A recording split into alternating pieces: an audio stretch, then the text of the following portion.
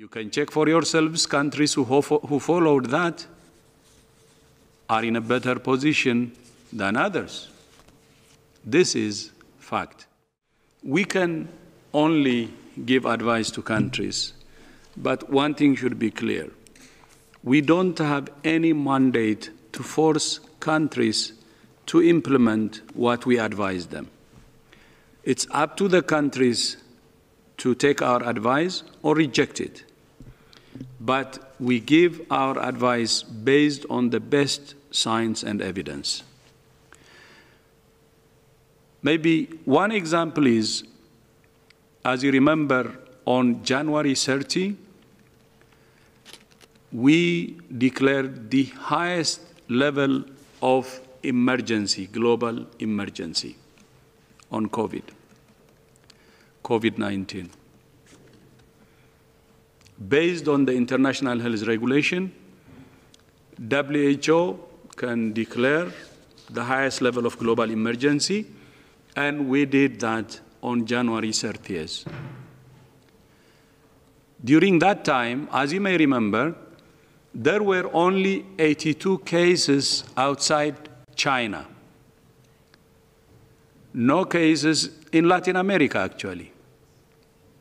No cases in Africa only 10 cases in Europe, no deaths in the rest of the world, nothing.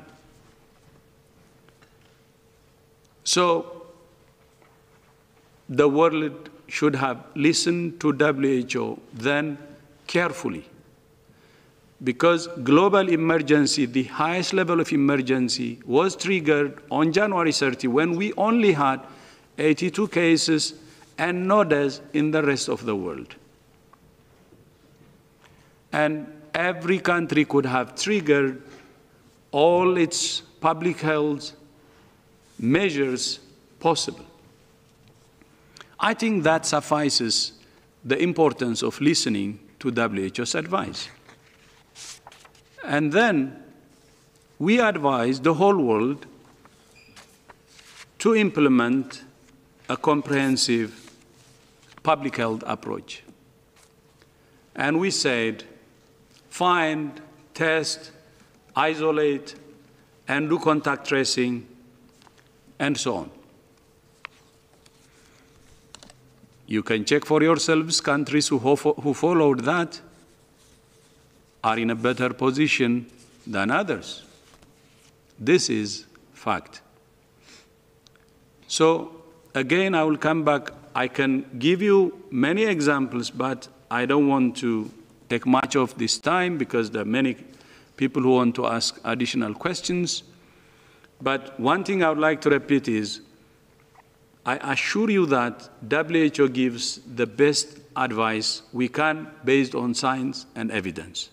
It's up to the countries to reject or accept. But from our experience so far, what we have seen is some countries accept, some may not. At the end of the day, each country takes its own responsibility.